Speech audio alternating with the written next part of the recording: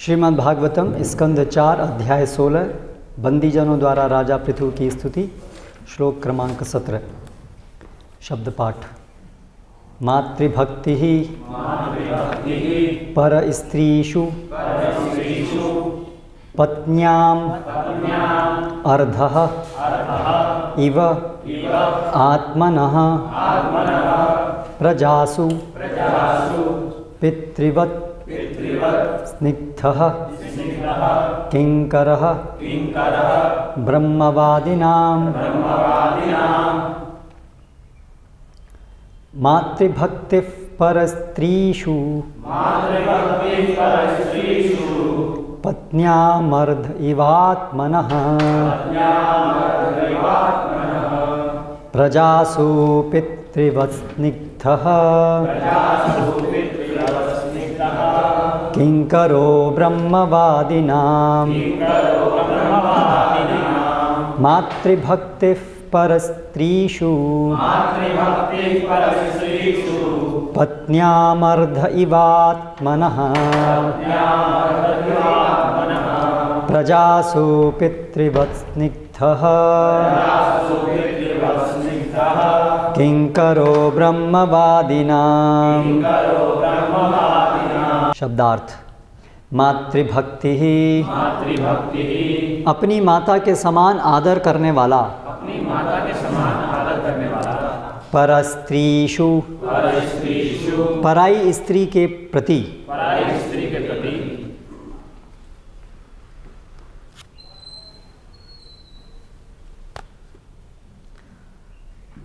पत्न्याम अपनी पत्नी को अर्ध आधा।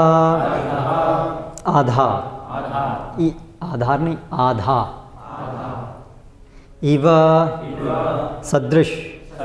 आत्मन अपने शरीर का। प्रजासु। नागरिकों के प्रति। नागरिकों के प्रति पितृवत पितृवत। पिता के समान। स्निग्ध। स्नेही। किंकर दास। ब्रह्मवादी ब्रह्मवादिनां श्री भगवान की महिमा का उपदेश करने वाले भक्तों का। उपदेश करने वाले भक्तों का अनुवाद एवं तात्पर्य द्वारा कृष्ण कृपा मूर्ति श्री श्रीमद अभय चरणारविंद भक्ति वेदांत स्वामी श्रील प्रभुपाद। ये राजा सभी स्त्रियों को अपनी माता के समान सम्मान देंगे और अपनी पत्नी को अपने शरीर का आधा अंग, यानी अर्धांगिनी, मानेंगे। ये अपनी प्रजा के प्रति पिता के समान स्नेही होंगे और अपने आप को श्री भगवान की महिमा का उपदेश करने वाले भक्तों का परम आज्ञाकारी दास समझेंगे। तात्पर्य। विद्वान मनुष्य अपनी पत्नी के अतिरिक्त सभी स्त्रियों को अपनी माता के समान मानता है। दूसरों की संपत्ति को गली में पड़ा कूड़ा समझता है और अन्यों के साथ ऐसा ही व्यवहार करता है जैसा वह अपने साथ करता है। ये विद्वान पुरुषों के लक्षण हैं जिनका उल्लेख चाणक्य पंडित ने किया है। शिक्षा का यही मानदंड होना चाहिए। शिक्षा का अर्थ मात्र शैक्षणिक उपाधियाँ प्राप्त करना ही नहीं है। मनुष्य को चाहिए कि उसने जो कुछ अपने व्यक्तिगत जीवन में सीखा है, उसे कार्य रूप में परिणत करे। विद्वानों के ये लक्षण राजा पृथु के जीवन में प्रकट थे। राजा होकर भी वे अपने आप को श्री भगवान के भक्तों का दास मानते थे। वैदिक शिष्टाचार के अनुसार यदि कोई भक्त राजप्रासाद में जाता तो राजा उसे तुरंत अपना आसन प्रदान करता था। ब्रह्मवादी नाम शब्द अत्यंत महत्वपूर्ण है। ब्रह्मवादी का अर्थ है श्री भगवान का भक्त। ब्रह्म परमात्मा तथा श्री भगवान, ये परम ब्रह्म के विविध नाम हैं और परम ब्रह्म तो श्री कृष्ण हैं। इसे श्रीमद् भगवद गीता दस बारह में अर्जुन ने स्वीकार किया है। परम ब्रह्म, परम धाम। इस प्रकार ब्रह्मवादी नाम शब्द श्री भगवान के भक्तों का सूचक है।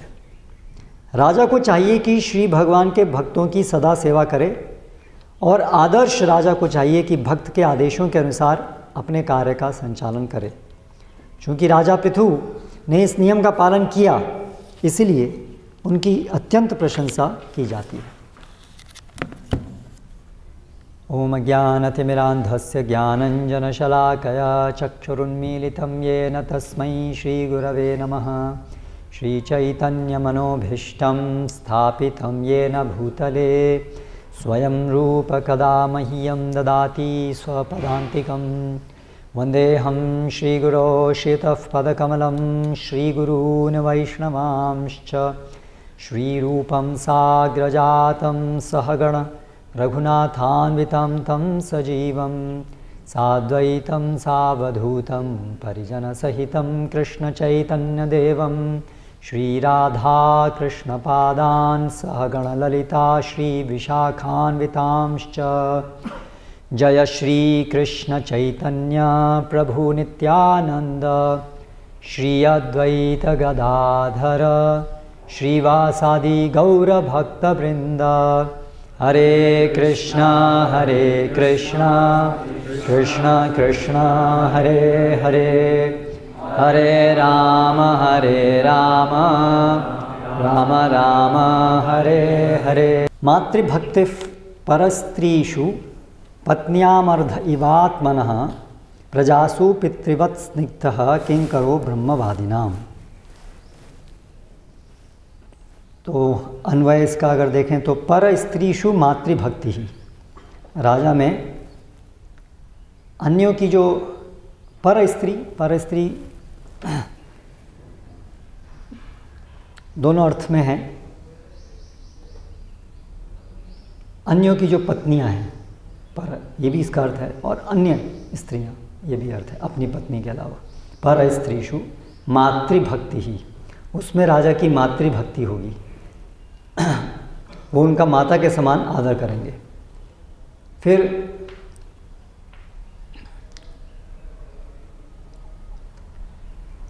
पत्नियाम आत्मन अर्ध इव। अपनी पत्नी को अपनी अर्धांगनी, आत्मन अपनी, अर्ध, अर्धांगनी के रूप में अर्ध, अपने अर्ध मतलब अर्धांगन, अर्धांगनी के रूप में देखेंगे। फिर प्रजासु पितृवत स्निग्ध। जो प्रजा होगी उसमें पिता के समान उनसे स्नेह करेंगे और ब्रह्मवादी नाम किंकर।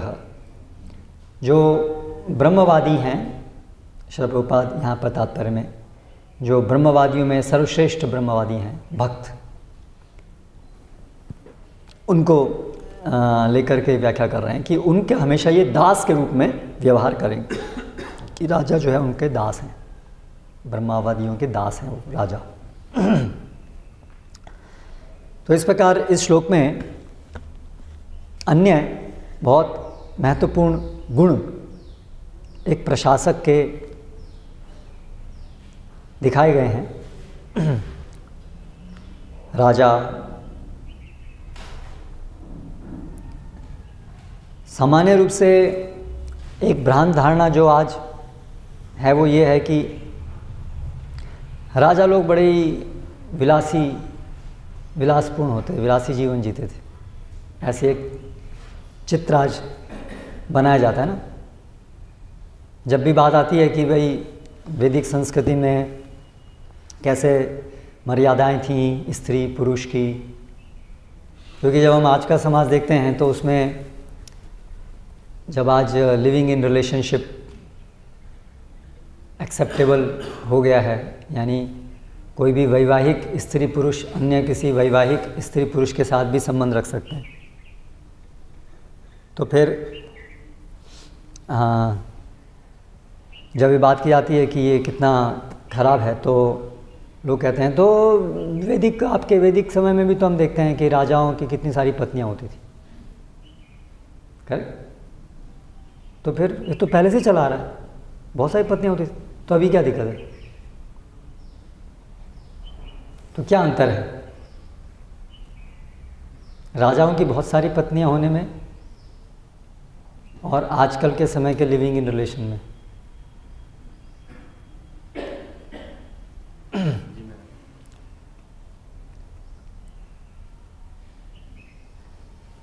सो so, इसको, इन सब चीज़ों को समझने के लिए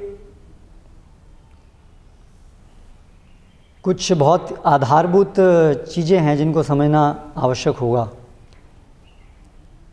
क्योंकि वैदिक संस्कृति और आधुनिक जीवन शैली इतनी पृथक है, उसकी विचारधाराओं में पृथकता है।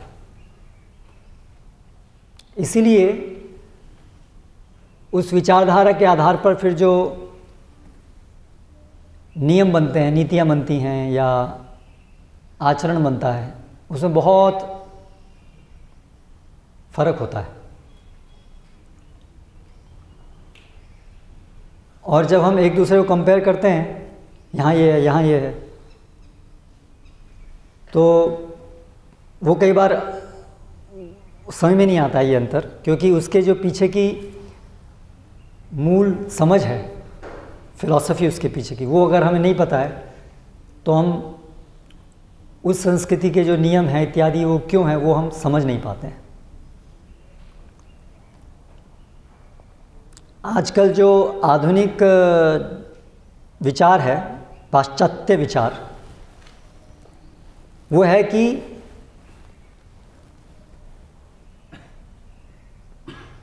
सभी लोग भौतिक दृष्टि से, भौतिक आध्यात्मिक तो दृष्टि है ही नहीं, आधुनिक पाश्चात्य जीवन शैली में।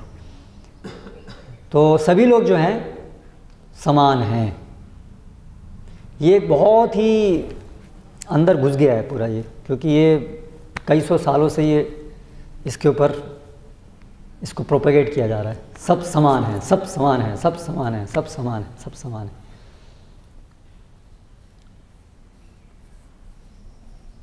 और उसमें मुख्य जो पार्थक्य ट्रेडिशनल जो जीवन शैलियाँ थीं, वैदिक भी और इवन पाश्चात्य जगत में भी जो उनकी ट्रेडिशनल जीवन शैलियाँ थीं, वहाँ पर स्त्री पुरुष में भेद जो है वो बहुत ग्रॉस भेद है। उसको कैसे ख़त्म करेंगे। बायोलॉजिकली भेद है है ना? और साइकोलॉजिकल भी भेद है। स्वभाव में अंतर है, मानसिकता में अंतर है, शरीर में अंतर है, सब चीज़ों में अंतर है। इवन पुरुषों के अंदर भी बहुत प्रकार के भेद हैं और सभी स्त्रियों में भी, आपस में भी भेद होते हैं अलग अलग प्रकार के, लेकिन स्त्री और पुरुष में एज ए क्लास भी भेद है। स्त्रियों में और पुरुष में एज ए क्लास भी भेद है। ठीक है? एक वर्ग की दृष्टि से भी अलग अलग भेद है।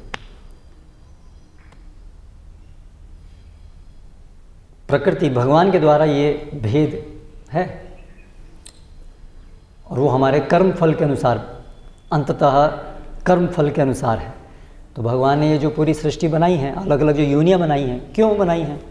अलग अलग हमारे कर्म फलों को प्रदान करने के लिए बनाई। है उसके पीछे ये रीजनिंग है लॉजिक है कि क्यों अलग अलग यूनियाँ हैं?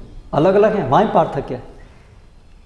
पेड़ पौधे हैं, जानवर हैं, मनुष्य हैं, अंतर है।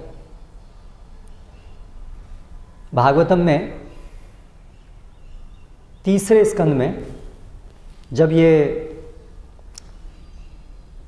सर्ग और विसर्ग का वर्णन आता है तो उसमें ब्रह्मा जी जो विसर्ग, यानी कि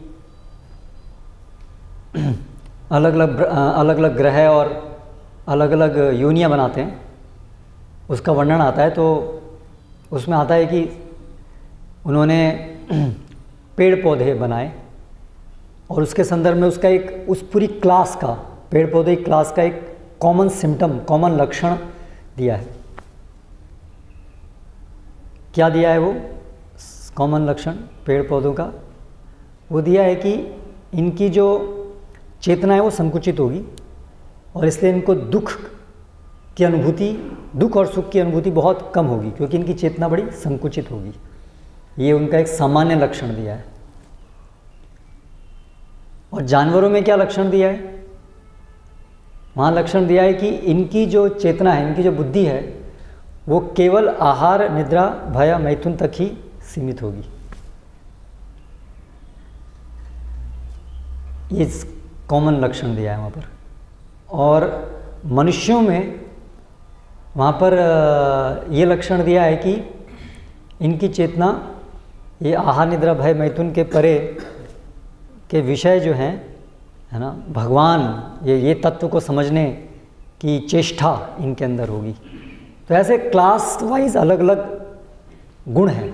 तो जब ये आरंभ से ये जो निर्माण हुआ है, सृष्टि हुई है, वहाँ पर ये क्लासेस हैं क्लासेस निर्माण से ही हैं, वर्ग। और उन वर्गों को अलग अलग बनाने के पीछे एक कारण है। अलग अलग गुण वाले हैं अलग अलग वर्ग, तभी वो वर्गीकृत हुआ। वर्ग बने मतलब उसमें कुछ अंतर है, तभी तो वर्ग बनेंगे। अगर सब एक ही है तो फिर वर्ग क्यों बनेंगे? तो वर्ग है मतलब अंतर है, और वो अंतर भी आकस्मिक नहीं है। अभी आजकल समस्या क्या है? आजकल जो है डार्विनवाद के आधार पर हमारा समाज आज का चलता है। तो वहाँ पर ये सारी जो वैरायटी है अलग अलग यूनि या स्पीसीज़ जो हम बोलते हैं, उसके पीछे जो कारण है, वो कारण क्या बताया गया है?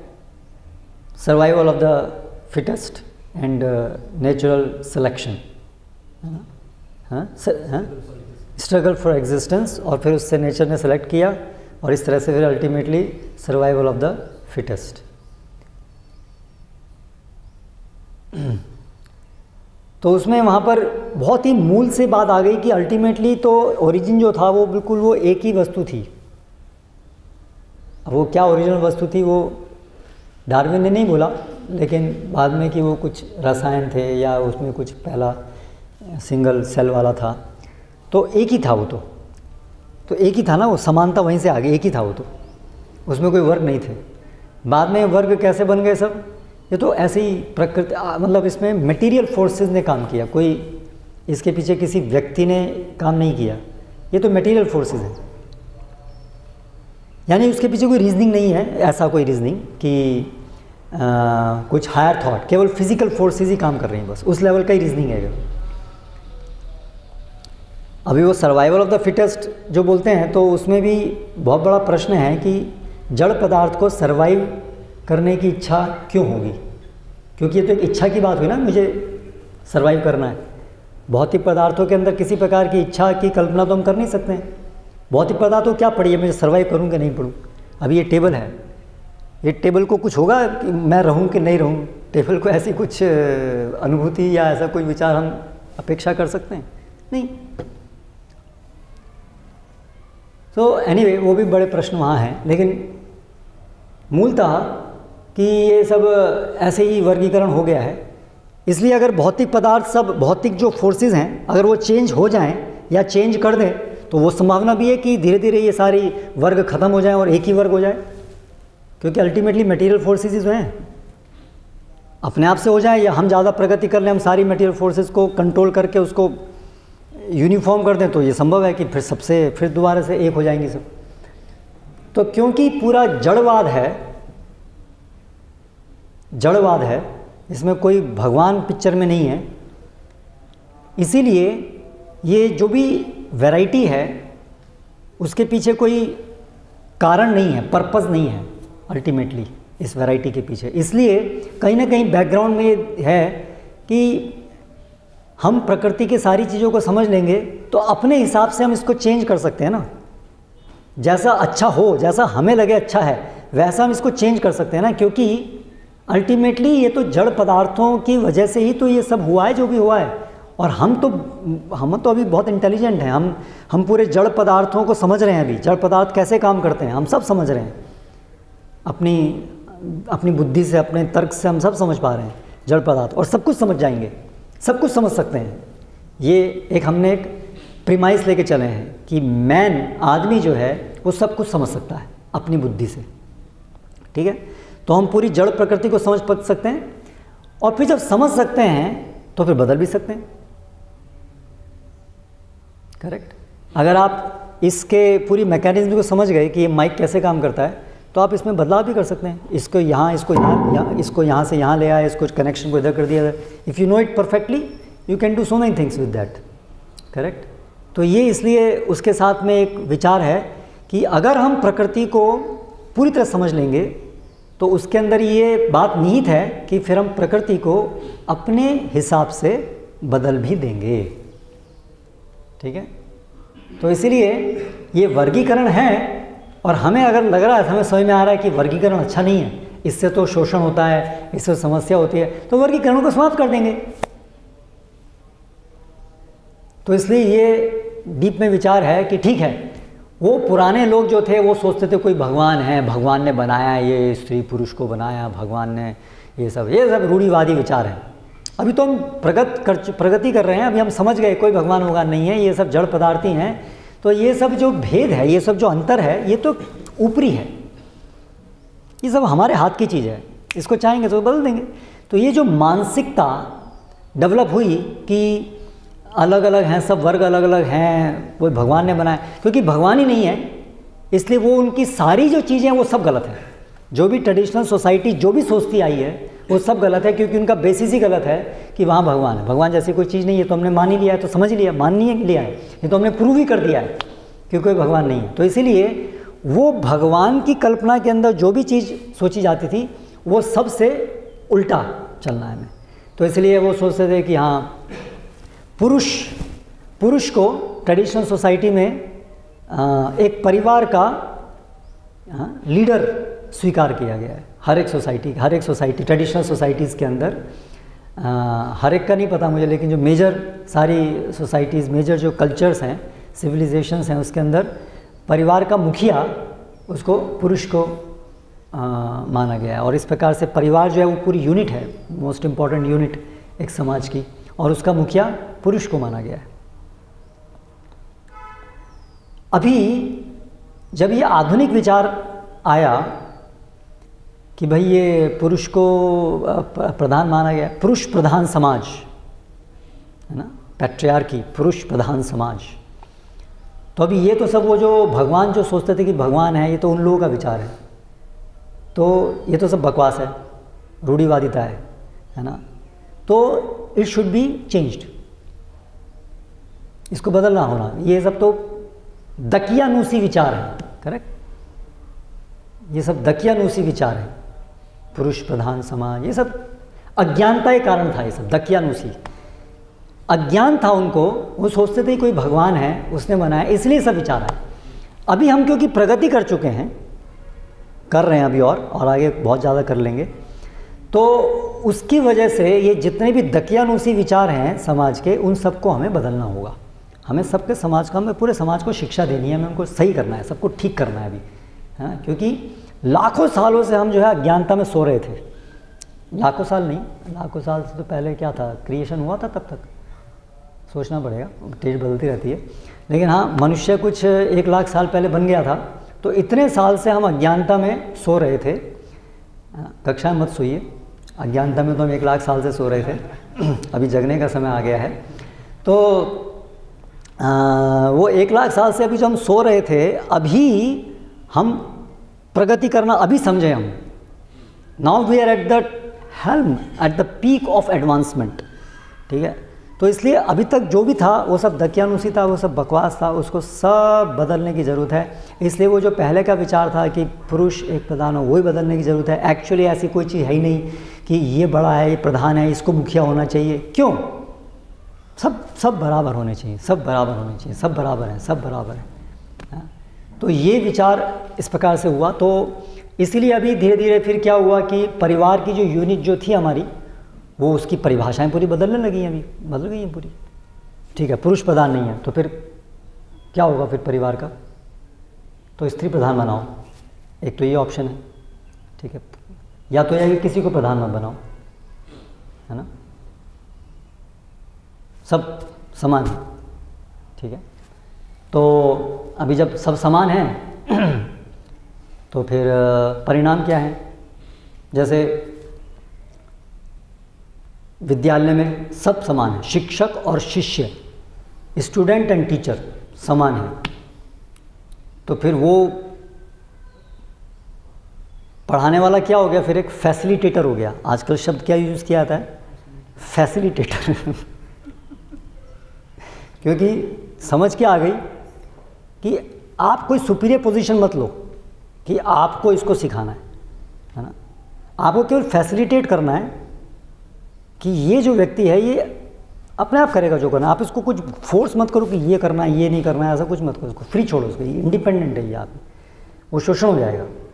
इसलिए आप तो बस उसको एक दृष्टा, एक की तरह से बस फैसिलिटेट करो। वो अपने आप जो करना है उसे करने दो, है ना?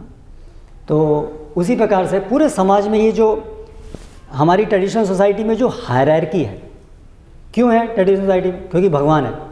भगवान की समझ जहाँ गई, वहाँ हायरार्की शुरू हो गई। करेक्ट भगवान है मतलब भगवान है। हायरार्की होगी और क्या करोगे आप? है अहम जन्माद्य प्रभव, अहम सर्वस्व प्रभव। मैं सभी का आदि उद्गम हूँ। हायरार्की हो गई, आप उन पर निर्भर हो गए। आश्रित हो गया परमानेंटली आश्रित हो गए।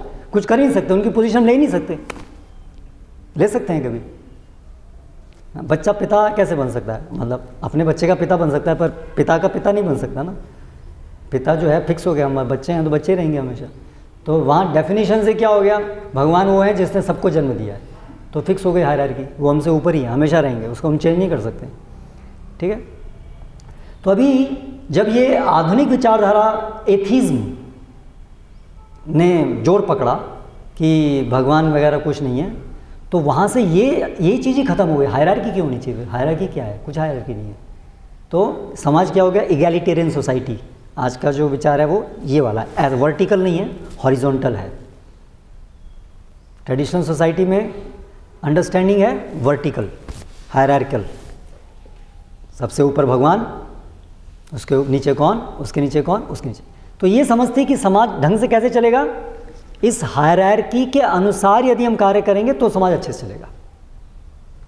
ये अंडरस्टैंडिंग थी। ठीक है? तो भगवान हैं सबसे ऊपर, उनकी बात माननी है जो समाज के लीडर्स हैं, राजा, ब्राह्मण, और फिर अन्य जो लोग हैं, उन्हें उनकी बात माननी है और उससे उनका भला होगा।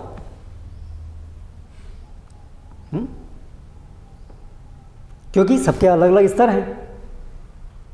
भगवान सबसे ऊपर है, हम सबसे नीचे हैं। तो ये हरारकी में अगर हम काम करेंगे तो सबका भला होगा। एवरीबडी गेट कनेक्टेड सब भगवान से कनेक्टेड हो गए बाई हरारकी सबके अलग अलग स्तर हैं, फिर भी सब कनेक्टेड हो गए। तो ये अंडरस्टैंडिंग है वैदिक सोसाइटी में।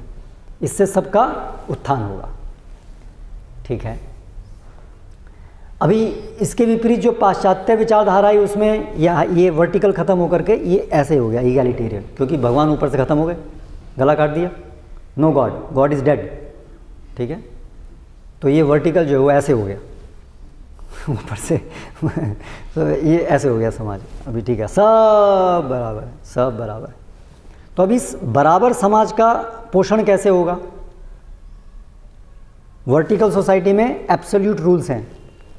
भगवान ने जो दिए हैं, इसलिए शास्त्र आ गए मनु आ गई जो उनका वचन है, वही सत्य है, वही हमें पालन करना है। ठीक है? अभी जब हॉरिजॉन्टल सोसाइटी हो गई तो इसमें क्या होगा? डेमोक्रेसी आ गई। ठीक है? कोई एब्सोल्यूट नहीं है वर्टिकल नहीं है डेमोक्रेसी आप देखिए कैसे कैसे ये सारी चीज़ों का एक बेसिक एथिज्म से हर चीज़ कैसे कनेक्टेड है। करेक्ट सो डेमोक्रेसी आ गई। क्योंकि कोई वर्टिकल नहीं है, ऐसे हम सब लोग मिलकर के हमें जो लगेगा अच्छा उसे हम अच्छा मानेंगे, स्वीकार करेंगे, वो नियम बनेंगे। तो हॉरिजॉन्टल उसके अंदर डेमोक्रेटिक सिस्टम काम करता है, ठीक है? तो अभी उसी डेमोक्रेसी के अंदर और सेक्युलरिज्म के अंदर, सेक्युलरिज्म मतलब निरीश्वरवादी जो विचारधारा है, सेक्युलरिज्म, क्योंकि वो वर्टिकल के विरुद्ध है सेक्युलरिज्म, ये हॉरिजॉन्टल सिस्टम वाली है सेक्युलरिज्म। तो अभी हर चीज़, जो भी ट्रेडिशनल सोसाइटी की, हर चीज़ के ऊपर प्रश्न उठ गया, हर चीज़ के ऊपर। तो उसके अंदर ये भी आता है पेट्रियार्कल सोसाइटी तो वैदिक सोसाइटी में था कि जो पुरुष है और जो स्त्री है, भौतिक दृष्टि से दोनों के अंदर भेद है और वो कर्म के फल के अनुसार है। योनियों में भी कर्म के कर्म के फल के अनुसार योनियाँ थी, इसलिए मनुष्य योनि को पशु योनि से उच्च माना गया। आजकल बराबर मानते हैं, लेकिन उनको खा जाते हैं। क्यों? बराबर हैं सब लेकिन जिसकी लाठी उसकी भैंस। करेक्ट बराबर हैं पर फिर जिसकी ज़्यादा शक्ति है वो उसको खा सकता है वो दैट इज़ नेचुरल करेक्ट वो एक्सप्लोइटेशन नहीं करना गिना जाएगा। सो so, तो पुरुष जो है वैदिक संस्कृति में पुरुष और स्त्रियाँ उनके वो भी कर्म फल के अनुसार एक अलग वर्गीकरण है। इसलिए अब ये बात बहुत ही संवेदनशील है, लेकिन शास्त्रों के अनुसार जो है, वो चीज़ को बताया जा रहा है, ठीक है? तो शास्त्रों में, जैसे हम भगवगीता में देखें तो वहाँ पर बताया है कि स्त्रियों वैश्य तथा शूद्रा स्तेपी यान्ति पराम गतिम है ना? मामी पार्थ व्यपाश्रित्य ये पी स्युफ पाप योनय इनको पाप योनय कहा गया है पाप योनिया स्त्री, वैश्य, शूद्र। केवल स्त्रियाँ नहीं हैं उसमें, शूद्र और वैश्य भी हैं। पुरुषों के भी वर्ग हैं, दो। उनको भी पाप योनि कहा गया है। तो पूरी वैदिक संस्कृति में और अंडरस्टैंडिंग ये है कि हमारा जो शरीर मिलता है, हमें जो योनि मिलती है, वो हमारे कर्मफल के अनुसार है और ये निम्न योनियाँ हैं। ये पाप कर्म करने के कारण ये योनियाँ प्राप्त होती हैं। लेकिन शास्त्रों में, क्योंकि जीव तो नित्य है, इसलिए चाहे कितना भी कोई पाप जन्म क्यों ना हुआ हो, लेकिन सबको रेक्टिफिकेशन का, शुद्धिकरण का मार्ग सबके लिए खुला हुआ है। जबकि जो क्रिश्चियन आइडिया है, पाश्चात्य जगत में जो रिलीजन प्रोमिनेंट हुए पिछले 2000 सालों में, वो क्रिश्चियनिटी और इस्लाम हुए। उन दोनों में विचारधारा ये है कि ये जो जीवन है, इसी में ही डिसीज़न होगा और हमेशा परमानेंटली हो जाएगा, या तो स्वर्ग या तो नरक। तो अभी उस दृष्टि से जो रिलीजन है उसको ये हो गया कि भाई तुम किसी को पाप योनि घोषित कर दो या तुम फिक्स कर ये हो गया कि ये तो ऐसा है और फिर ये इसका कोई चांस ही नहीं है आने का। तो, तो पूरा बहुत डेंजरस फिलॉसफी है है ना? लेकिन वैदिक संस्कृति जो है वैदिक फिलॉसफी जो है वो तो उनको स्वीकार करनी ही नहीं है क्योंकि वो तो not worth considering because it is not coming from white है ना? तो हाँ उसको तो छूना ही नहीं है। तो इसलिए अभी फिर उसके विरोध में जो पूरा सेक्युलरिज्म डेवलप हुआ, पाश्चात्य विचार, ये जो आधुनिक विचार डेवलप हुआ, है ना तो वहाँ पर फिर ये आया कि ये तो धर्म के अंदर की पूरी अंडरस्टैंडिंग सब बेकार है, इसलिए ये सब जो है, इस प्रकार से समान है। लेकिन उसी का धर्म का जो, ये जो वैदिक फिलॉसफी है, उसमें ये वहाँ पर कमियाँ नहीं हैं। कि एक बार किसी का कैसे जन्म हो गया, वो परमानेंट हो गया, ऐसा नहीं है। आध्यात्मिक और भौतिक दोनों में वहाँ पर अंतर किया गया है। जबकि अन्य जो फिलॉसफी हैं, उसके अंदर स्पिरिट की कोई प्रॉपर अंडरस्टैंडिंग है ही नहीं। इसलिए वो जो एथीज़्म है, उसका कोई प्रॉपर इतना उत्तर भी वहाँ पर नहीं मिलता है, क्योंकि वहाँ पर आध्यात्मिकता डेवलप नहीं है। वो जो थियोलॉजी है, वो जो थियोलॉजी है, वो बहुत ही प्रिमिटिव लेवल पर है। इसलिए जो एथिज़्म के जो प्रश्न हैं वो उनका सही से वहाँ पर उत्तर नहीं मिल पाता है। लेकिन जो वैदिक थियोलॉजी है फिलॉसफी है, उसमें हमें बहुत ही एक सभी चीज़ का स्पष्ट लॉजिकल उत्तर प्राप्त होता है।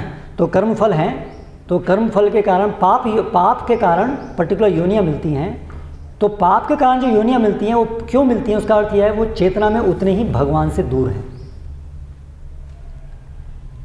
पुण्य और पाप की परिभाषा क्या है? उसका क्राइटेरिया क्या है पाप और पुण्य का? भगवान ने कुछ एक्टिविटीज़ को शास्त्र में उल्लेखित किया, ये पाप है और कुछ को पुण्य है। क्यों? क्योंकि पूरी मेटेरियल वर्ल्ड का जो को बनाया गया है, वो भगवान के द्वारा बनाया गया है। और वो इस आधार पे बनाया गया है कि कैसे यहाँ पर जो जीव हैं भोग करने के लिए आए उनको एक तरफ़ तो भोग करने की फैसिलिटी भी प्रोवाइड की जाए, उनकी इच्छाएँ पूरी भी हों और दूसरी तरफ़ उनका शुद्धिकरण भी हो, है ना? तो इसीलिए, और ये बहुत स्वाभाविक चीज़ है कि जब भगवान हमारे ओरिजिन हैं, जितना हम भगवान से के विरुद्ध होंगे, उतना ही हम कष्ट भोगेंगे। ये एक सिंपल चीज़ है, क्योंकि भगवान हमारे ओरिजिन हैं, पिता हैं हम अगर उनके विरुद्ध जाएँगे तो हम कष्ट ही अनुभव करेंगे क्योंकि वो हमारी संवैधानिक स्थिति के विरुद्ध है। मछली पानी में रहने वाली उस है, उसका वो संवैधानिक स्थिति है। अगर वो पानी से दूर जाएगी तो वो कष्ट में रहेगी ही रहेगी। वो संवैधानिक गुण की वजह से है। तो उसी प्रकार से जीव जीव है, उसका एक विधान है, उसकी एग्जिस्टेंस उसकी कॉन्स्टिट्यूशनल पोजीशन की वजह से एक विधान है। वो विधान है कि अगर हम भगवान का विद्रोह करेंगे, उनसे दूर जाएँगे तो हम दुखी रहेंगे ही। तो इसीलिए पाप पाप मतलब भगवान से दूर जाना। ऐसे कार्य करना जो भगवान को अप्रसन्न करते हैं। ठीक है? तो जितना हम पाप करेंगे, यानी हम भगवान से उतना ही दूर जा रहे हैं। तो दूर जा रहे हैं तो कष्ट की स्थिति ही होगी, है ना? और दूसरी तरफ़ कष्ट की स्थिति होगी, और दूसरी तरफ़ जितना हम पाप कर रहे हैं मतलब ये जो इच्छा है कि मुझे भगवान से दूर जाना है वो उतनी और प्रबल होगी। ठीक है? तो पाप करने से हमारी जो इच्छा है, भगवान से दूर जाने की, वो और दूर होती है। इसलिए ये शांतवंतगतम पापम जनानाम पुण्य कर्मणाम थे द्वंद्व मोह निर्मुक्ता, भजनते माम दृढ़ता। जो पाप कर्मों से जितना अलग हो रहा है, यानी पुण्यात्मा बन रहा है, वो उतना ही भगवान की भक्ति में दृढ़ होता जाता है। है ना? तो ये इस प्रकार से कनेक्टेड है। तो इसलिए जो लोग पाप कर रहे हैं उनको भगवान और फैसिलिटी देते हैं क्योंकि उनकी इच्छा है भगवान से दूर जाने की। ठीक है और दूर जाओ। तान हम ताम हम दूषित क्रूरान संसारेशु नराधमान। हाँ, क्या है? क्षपामी अजसम अशुभाम आसुरिश्व योनिशु है ना? तो जो पाप कर्म करते हैं मैं उनको अपने से दूर करता हूँ। क्यों? क्योंकि उनकी इच्छा है। तो इच्छा को फैसिलिटेट करने के लिए ऐसा करते हैं। है ना? हालाँकि उसके अंदर अंदर भी मेडिसिन की तरह से वापस कैसे लाना है, उसका भी विचार करते हैं भगवान, आयोजन करते हैं, लेकिन दोनों चीज़ साथ साथ करते हैं फैसिलिटेट भी करते हैं जीव की इच्छा को। तो इसलिए पाप कर्म करने से ऐसी योनियाँ प्राप्त होती हैं, जिनमें भगवान की को समझने की शक्ति कम होती है। इसलिए जो जानवरों की योनियाँ प्राप्त होती हैं, वो घोर पाप करने से जानवरों की योनियाँ प्राप्त होती हैं। जानवरों की योनियाँ प्राप्त करने से भगवान को समझना कोई भी मनुष्य के कंपैरिजन में बहुत बड़ा अंतर है। ठीक है? उसी प्रिंसिपल के आधार पर मनुष्यों के अंदर भी पाप और पुण्य करने से उनको मनुष्यों के अंदर भी कौन सी प्रकार की का वर्ग मिलेगा, वो भी उसी प्रकार पर निर्भर होता है। प्रिंसिपल एक ही है। दोनों का। तो इसलिए स्त्री वैश्य शूद्र, वो सामान्यतया प्रकृति के निम्न गुण निम्न गुणों के द्वारा संचालित संचालित होते हैं। तो निम्न गुण जो है, हमेशा भगवान से दूर ले जाने का काम करते हैं। वो पाप की तरफ़ प्रेरित करते हैं, तमोगुण, रजोगुण। तो इसलिए पाप करने का प्रभाव क्या होगा? हमें ऐसी योनि मिलेगी जिसमें रजोगुण, तमोगुण का प्रभाव ज़्यादा होगा। जो पेड़ पौधे और जो जानवर हैं, मनुष्यों के कंपैरिजन में उनके अंदर ये तमोगुण बहुत ज़्यादा होता है। ठीक है? उसी प्रकार वही प्रिंसिपल मनुष्यों में भी है। तो मनुष्यों के जो वर्ग हैं, एक वर्ग, एक तो है स्त्री और एक पुरुष। और फिर पुरुष के अंदर भी ब्राह्मण, क्षत्रिय, वैश्य, शुद्ध। तो ये जो है, ये भी सब गुणों से ही अलग अलग वर्गीकरण बन रहा है। और ये गुण ये वर्गीकरण क्यों हो रहा है? इसके पीछे का कारण है उनके पूर्व कर्म फल तो अगर हम पुण्य करेंगे पुण्य करेंगे मतलब क्या होता है? सत्वगुण में जो कार्य किए जाते हैं, वो पुण्यशाली होते हैं। ठीक है? तो अगर हम सत्वगुण में कार्य करेंगे ऊर्ध्वम गच्छन्ति सत्वस्था अगर हम सत्वगुण में काम करते हैं तो उसका परिणाम क्या होता है? हमें फर्दर और सत्वगुण में ही कार्य करने की फैसिलिटी प्राप्त होती है। ठीक है? तो इसीलिए उच्च योनि में जन्म मिलता है, जहाँ पर सत्वगुण की प्रधानता होती है। जब हम पाप करते हैं तो हमें निम्न योनियाँ प्राप्त होती हैं, जहाँ पर तमोगुण, रजोगुण की प्रधानता है। तो इसीलिए शूद्र, वैश्य, स्त्री, वो जो है, इस प्रकार से पाप योनियाँ कहा गया है, क्योंकि वो उसके परिणाम है। यानी कि उन योनियों में भगवान को समझने की शक्ति, शास्त्रों को समझने की शक्ति कम होगी। इन जनरल ठीक है? लेकिन उद्धार सबका होना है। फैसिलिटेट तो कर दिया। पाप, आपने पाप किए तो आप भगवान से दूर आ जाते ठीक है, आप ऐसी योनि में आ जाओ। लेकिन अभी उनका उद्धार भी करना है। तो इसलिए उद्धार करने के लिए हमेशा क्या चाहिए? शरणागति। उद्धार करने का प्रिंसिपल क्या है? शरणागति। अगर हम अपने से उच्च चेतना वाले लोगों को शरणागत होंगे तो हम अपनी वर्तमान निम्न स्थिति से ऊपर उठ सकते हैं। ये सिद्धांत है। हायरार्किकल सोसाइटी का ये सिद्धांत है। अल्टीमेटली भगवान की शरण ग्रहण करके सब जीव अपनी कोई भी स्थिति से किराट हुणांद्र, पुलिंद, पुक्कशा, कोई भी स्थिति से व्यक्ति, है ना, भगवान की शरण लेकर के उठ सकता है, उद्धार कर सकता है अपना। ठीक है? तो इसलिए पूरी सोसाइटी जो डिज़ाइन है वैदिक संस्कृति में, वो इस प्रिंसिपल के ऊपर है कि जो सबसे निम्न स्तर पे है, वो अपने से ऊँची स्थिति वाले का, की शरण की शरण ग्रहण करे, वो अपने से ऊँचे वाले का शरण ग्रहण करे, वो अपने से ऊँचे वाले का शरण ग्रहण करे, और ऐसे करके पूरी हायरार्की में सब लोग कनेक्टेड हैं, सबसे ऊपर भगवान से। भगवान की सबसे ज़्यादा जो शरण लिए हुए हैं, वो ब्राह्मण वर्ग है। है ना? फिर क्षत्रिय हैं। वो ब्राह्मणों की शरण ग्रहण कर रहे हैं। ब्राह्मणों का मतलब यही है। ब्राह्मण मतलब वो जो पूरी तरह से भगवान की शरण लिए हुए उसी को ब्राह्मण कहते हैं। ब्राह्मण मतलब भगवान का मुख। जो शरणागति कारण भगवान के हृदय को जानते हैं जो भगवान के आ, से कनेक्टेड हैं। मोस्ट क्लोजली सबसे ज़्यादा स्ट्रांगली कनेक्टेड हैं वो। इसीलिए वो भगवान के अनुसार मार्गदर्शन दे सकते हैं। और ऐसा क्यों हुआ है? क्योंकि उनके कर्म फल के कारण जो शुद्धि हुई है उनकी, इसकी वजह से उनको ऐसा प्राप्त हुआ है। ठीक है? इसीलिए पूरा समाज जो है, पूरे समाज के गुरु ब्राह्मण होते हैं। ठीक है? तो पूरे समाज का उत्थान कैसे होगा? यदि बाकी सारे वर्ण जो है वो ब्राह्मण, उसके बाद फिर क्षत्रिय आते हैं, फिर वैश्य शूद्र। तो इसलिए आप देखिए, क्षत्रियो का वर्णन आएगा, जैसे यहाँ आ रहा है, ब्रह्मवादी नाम किंकर वो भी तो किंकर हैं। केवल स्त्रियाँ थोड़ा किंकर बताए बताए, बताया गया है। किंकर का, किंकर किंकर होना तो मनुष्य समाज में, वैदिक समाज में सबके लिए है।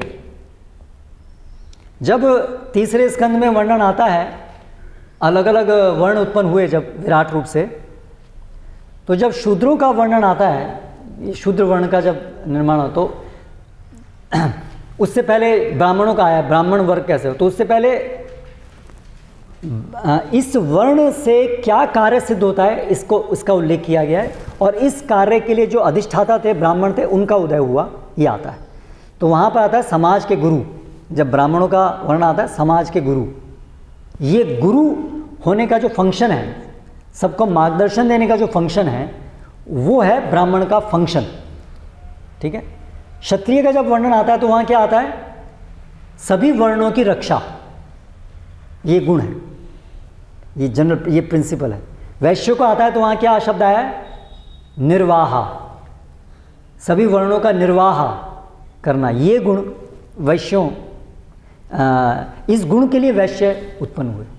और जब शूद्रों की उत्पत्ति की बात आती है, तब कौन से गुण की बात आती है?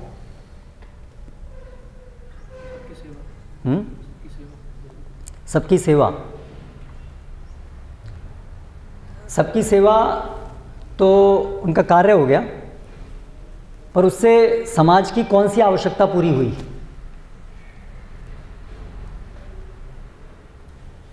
रक्षण की आवश्यकता पूरी हुई क्षत्रियों से, मार्गदर्शन की आवश्यकता पूरी हुई ब्राह्मणों से, निर्वाह, शरीर के निर्वाह की आवश्यकता पूरी हुई वैश्यों से। समाज की कौन सी आवश्यकता पूरी हुई शूद्रों से? हैं? स्वच्छता नहीं। स्वच्छता तो ब्राह्मण सबके अंदर तो अलग बात है। हुँ? कैसे सबॉर्डिनेशन तो हाँ ठीक है। वहाँ जो शब्द आया है धर्म सिद्धये शुश्रूषा धर्म सिद्ध ये। बहुत विचार, विचारणीय बात है। शुश्रूषा धर्म सिद्धये शुश्रूषा, ये जो फ़ंक्शन है, ये डेवलप हुआ शुश्रूषा सबॉर्डिनेशन सेवा किस लिए? धर्म सिद्ध ये। धर्म की सिद्धि के लिए। तो वहाँ पर बताया है कि ये जो फ़ंक्शन है, ये एक्चुअली सभी वर्णों का कॉमन फ़ंक्शन है ये। शुश्रूषा जो है वो कॉमन टू एवरीवन है। इसलिए स्वे स्वे कर्मण्य विरता समसिद्धिम लभते नरा, या यतः प्रवृत्तिर्भूतानाम येन सर्वमिदम ततः स्वकर्मणा तम अभ्यर्च सिद्धिम विंदती मानव। है ना? जो भगवान हैं, उनकी सेवा करके सब वर्ण पूर्णता हासिल करते हैं। तो ये जो शुश्रूषा है, ये कॉमन है। इसलिए सारे वर्ण जो हैं, शुश्रूषा कर रहे हैं। लेकिन जो ब्राह्मण क्षत्रिय वैश्य कैसे कनेक्टेड हैं, और ये जो वो वो अपने सारे कार्यों को भगवान को अर्पित करते हैं डायरेक्टली इस तरह से वो शुश्रुता वहाँ कर रहे हैं। धर्म सिद्धि के लिए वो भी यही कार्य करते हैं। इसलिए धर्म सुनिश्चिताम पुंस विश्वक्सेन कथासु यह न उत्पादयेत यदि रतिम श्रम एव ही केवलम। जो वर्ण का कार्य करता है, लेकिन भगवान को अर्पित नहीं करता है तो वो श्रम एव ही केवलम है है ना? उसी प्रकार से वर्णाश्रमाचार्युत पुरुषेण परपुमान, विष्णु आराध्यते पंथ न अन्य तत्तोष कारणम। ये सब चीज़ वही बताती हैं। तो धर्म की सिद्धि किसमें है? भगवान की सेवा में। वही चीज़ धर्म की सिद्धि सभी वर्णों के लिए है। अभी जो शूद्र हैं, उनकी चेतना तमोगुण में होने के कारण वो डायरेक्टली भगवान से वो कनेक्शन वो दूर हैं चेतना की दृष्टि से। इसीलिए वो जो ये अन्य वर्ण हैं इनकी सेवा के द्वारा वो भगवान की सेवा करते हैं। इसलिए शूद्र के पराशर स्मृति में बताया है कि तमोगुण होने से एक शूद्र के अंदर स्वाभाविक रूप से अ, काम क्रोध लोभ मोह मद मत्सर ये ज़्यादा होने की संभावना है क्योंकि तमोगुण प्रभावित है ज़्यादा। इसीलिए उनके लिए सर्वश्रेष्ठ है ब्राह्मण की सेवा करना। है ना? तीनों वर्णों में भी। तो यानी कि पॉइंट ये है कि फ़ंक्शन है कि अपनी शुद्धि के लिए वो सेवा करते हैं। सेवा हम हमेशा किस लिए करते हैं? अपनी शुद्धि के लिए करते हैं। तो ये जो प्रिंसिपल है, सेवा, शुश्रूषा, ये वैदिक संस्कृति का धर्म की सिद्धि के लिए एक कॉमन प्रिंसिपल है। धर्म सिद्ध ये। ठीक है? तो कोई भी व्यक्ति अपना उद्धार करना चाहता है, उसे अपने से जो उच्च हैं, उनकी शुश्रूषा करनी होगी। शरणागति के अंदर शुश्रूषा, उसका इन्वॉल्व फैक्टर है। ठीक है? तो उसी प्रकार से अभी स्त्री जो हैं, उनका उद्धार कैसे होगा? उनको भी शुश्रूषा करनी होगी। हर व्यक्ति को शुश्रूषा तो करनी है, चाहे ब्राह्मण हो, चाहे कुछ भी हो, है ना? सब कनेक्टेड है अल्टीमेटली शुश्रूषा के द्वारा भगवान से। लेकिन स्टेप बाय स्टेप है ना? सीधे भगवान की शुश्रूषा करना सबके लिए संभव नहीं है। इसलिए उनके लिए आप चैन में अटैच हो जाइए। जहाँ पर भी आप अटैच हो सकते हैं, वहाँ अटैच हो जाइए। अगर पूरी चैन अल्टीमेटली भगवान से अटैच है तो you are as good as directly attach to God अगर ट्रेन है इंजन है, चाहे इंजन के पीछे पहला डब्बा है, चाहे उस ट्रेन का अंतिम डब्बा है, कोई फ़र्क पड़ता है? हम सोचते हैं बैठते बैठते नहीं, हम तो ट्रेन इंजन के पीछे वाले डब्बे में बैठेंगे। हम लास्ट वाले डब्बे में नहीं बैठेंगे। ऐसा सोचते हैं हम लोग।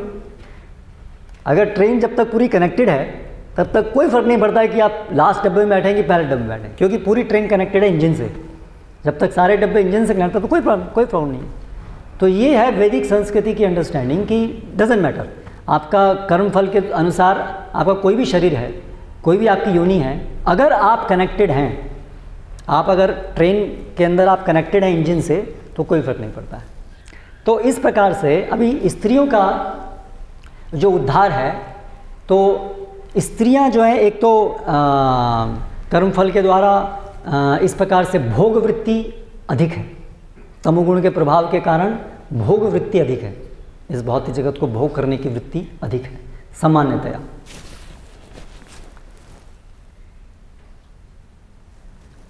और शारीरिक बल भी कम है। तो उनको शारीरिक संरक्षण चाहिए और ये जो भोग वृत्ति है, ये नियमन उनकी हो सके, इसके लिए कुछ व्यवस्था होनी चाहिए। इसीलिए शास्त्रों में स्त्रियों के लिए जो कार्य बताए गए हैं, वो पतिव्रता होकर के अपने पति की सेवा करना, पति उनका स्वामी होता है। इसलिए उनके जो उद्धार का तरीका है, वो है पति की सेवा। पति इसलिए उनके लिए गुरु होता है। यहाँ से उनका कनेक्शन होता है, भगवान से। और जो पति है, वो फिर ब्राह्मणों, अगर वो अन्य वर्ण के हैं तो ब्राह्मणों की सेवा में रत रहेंगे, है ना? और ब्राह्मण भगवान की सेवा करेंगे। इस तरह से सभी स्त्रियाँ कनेक्टेड हो गई, ठीक है? तो इसलिए स्त्री का इसलिए एक परिवार के अंदर ये आया कि जो एक परिवार यूनिट है, उसका जो नेतृत्व करना चाहिए, वो पुरुष को करना चाहिए, पति को करना चाहिए, पति गुरु, है ना? वो लीडिंग रोल लेना चाहिए। क्योंकि वो कर्म फल के द्वारा वो शरीर और वो उस प्रकार की पूरी योजना है है ना? तो जब अभी सेवक और स्वामी की बात आती है तो सेवक के बहुत सारे स्वामी हो सकते हैं क्या? एक सेवक के बहुत सारे स्वामी हो सकते हैं क्या?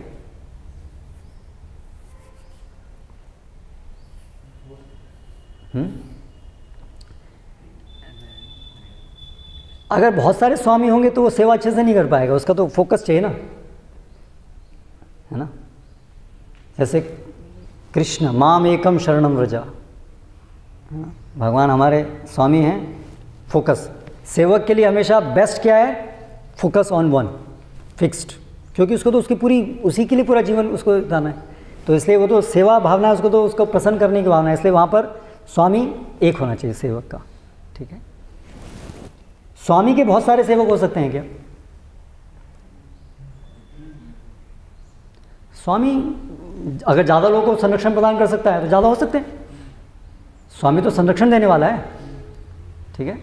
तो स्वामी के अनेक सेवक हो सकते हैं, सेवक का एक ही स्वामी होना चाहिए। ठीक है।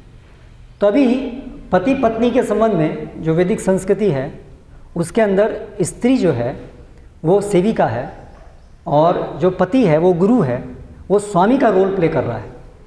उसका उद्धार करने के लिए उसको आ, आ, भगवान की सेवा में नियोजित करने के लिए संरक्षण प्रदान सभी तरीके से ठीक है। तो इसीलिए वैदिक संस्कृति में एक पुरुष की अनेक पत्नियाँ हो सकती हैं लेकिन एक पत्नी के कई पुरुष नहीं हो सकते।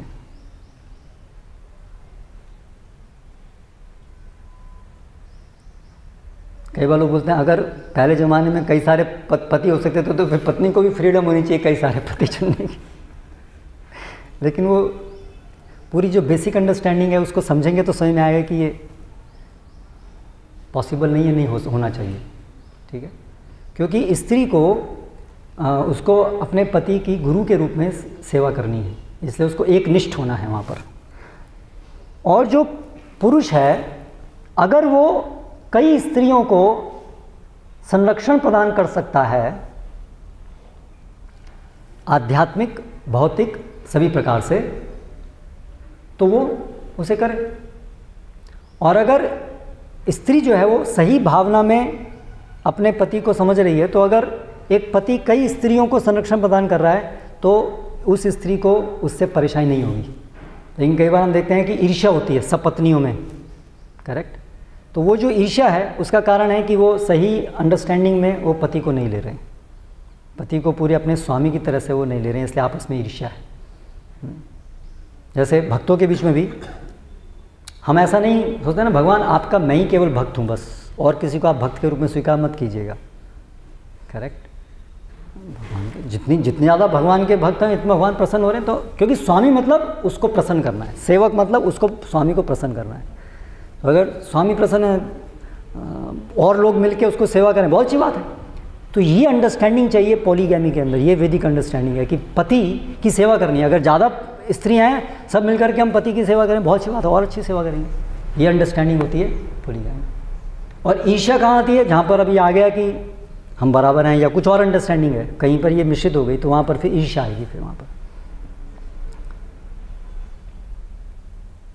तो इसीलिए यहाँ पर आया मातृभक्ति ही पर स्त्रीशु तो इसलिए जो भी स्त्री, अगर किसी एक स्त्री कहीं पर किसी पुरुष के साथ वो कनेक्टेड हो गई तो दैट्स ऑल उसका पूरे समाज में ये अंडरस्टैंडिंग है शी इज़ ऑलरेडी शेल्टर्ड एक उसका पुरुष है। इसलिए एक विवाहिता स्त्री को उसके सबके ड्रेस कोड अलग अलग होते हैं उसका पूरा कि ये विवाहिता है ना? उसके बहुत वैदिक संस्कृति में सब सिंदूर और मांग और सब बहुत सारे लक्षण हैं जिससे कोई भी पुरुष देख पाए कि ये विवाहिता स्त्री है। इसका एक संरक्षण करता है इसका एक पुरुष है है ना? तो आ, तो इससे पूरे समाज के अंदर एक सबको संरक्षण ही प्राप्त हो गया। सबका कोई चाहे स्त्री कोई भी हो सबका संरक्षण ही प्राप्त हो गया। और आ, वो रेस्ट्रिक्ट करने से आ, आ, जो काम वासना है उसको अनावश्यक बल भी नहीं मिला। काम वासना इस भौतिक जगत में हम हैं तो रहती है उसको भी कंट्रोल करना है। और सबका उद्धार भी होना है। इसलिए ये सारे जो नियम, जो वैदिक संस्कृति में है, ये सबको बेस्ट पॉसिबल तरीके से समावेश करते हैं। इसमें साइकोलॉजी भी इंक्लूडेड है, पुरुष की और स्त्री की, है ना? तो पुरुष के अंदर वो साइकोलॉजी है शेल्टर देने की। जैसे क्षत्रिय का स्वभाव होता है ना, ईश्वर भाव। He wants to give shelter I will take care of you ये पुरुष के अंदर भी स्वभाव होता है। जब तक उसको ज़बरदस्ती उसका कुछ उम्र नहीं निकाला जाए। जो आजकल प्रयास किया जा रहा है। इसलिए भी जब आजकल प्रयास किया जा रहा है कि भाई नहीं नहीं तुम पुरुष प्रधान कोई नहीं, हम सब बराबर, हम भी जॉब करेंगे और हम भी करेंगे। तो फिर अभी पुरुष जो हैं वो सब निठल्ले बन गए क्योंकि उनको कोई मोटिवेशन नहीं है, क्योंकि संरक्षण किसको प्रदान करेंगे? कोई कोई संरक्षण लेना ही चाहता। तो प्रदान किसको करेंगे? सब तो कह रहे हमें आपके संरक्षण की ज़रूरत नहीं है। तो किसी को संरक्षण की ज़रूरत ही नहीं है। ना?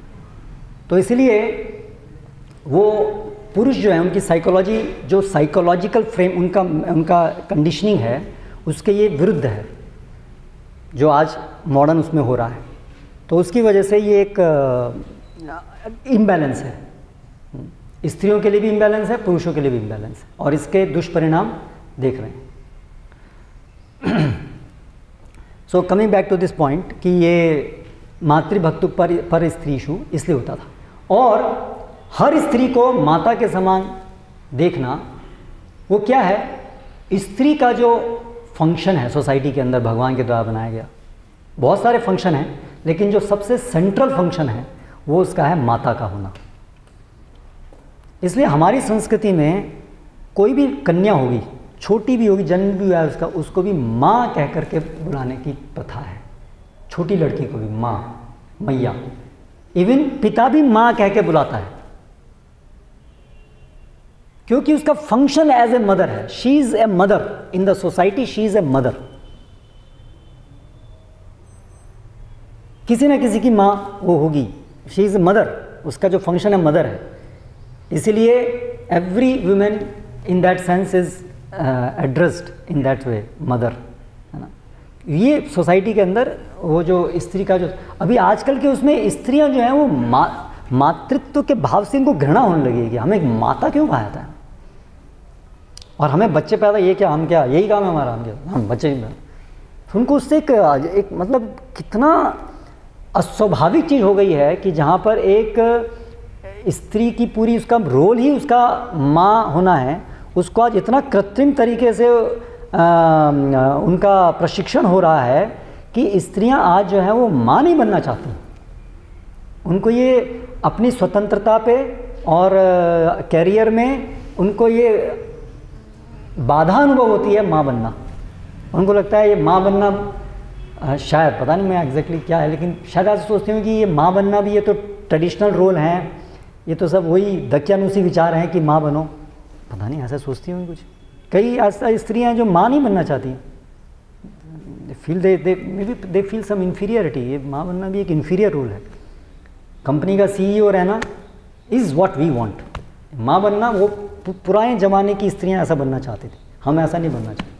समथिंग लाइक दैट तो ये सब अस्वाभाविक चीज़ें होने से और वो साइकोलॉजिकली बहुत गलत है। एक स्त्री के लिए वो अगर वो आ, आ, इस प्रकार से संतान नहीं है तो बहुत एक एक साइकोलॉजिकली एक एक चैलेंज है। क्योंकि उसके स्वभाव में? और वो बहुत ज़रूरी है क्योंकि बच्चे का लालन पालन बच्चे बच्चे को जन्म देना बहुत कष्टपूर्ण कार्य है। उसका पालन पोषण करना बड़ा कष्ट कष्टपूर्ण कार्य है। तो ये अगर इस साइकोलॉजी के अगर नहीं होगा तो क्यों कोई स्त्री बच्चे को जन्म देना चाहेगी? वो जो ममता है, वही तो उसको हेल्प करती है कि ये सब कष्ट होने के बावजूद भी वो बच्चे को नरिश करती है।